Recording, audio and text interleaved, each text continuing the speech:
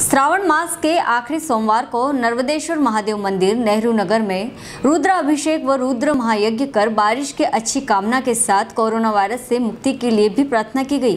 पंडित अजय शर्मा ने पूरे श्रावण मास में भगवान शंकर का रुद्राभिषेक करवाया और सभी भक्तों ने भगवान का रुद्राभिषेक किया और आखिरी सोमवार को यज्ञ में आहुति डाली। समिति के आयोजनकर्ता अनिल जायसवाल, अलकेश बिरले, गोविंद वर्मा, पंडित पिंकू शर्मा, सुनील जायसवाल, सुमेर सिंह राजपूत, ललित बिरले, पंकज सोनी ने आहुति डालकर अच्छी बारिश की कामना की। पीपलगोन से सलीम खान की रिपोर्ट।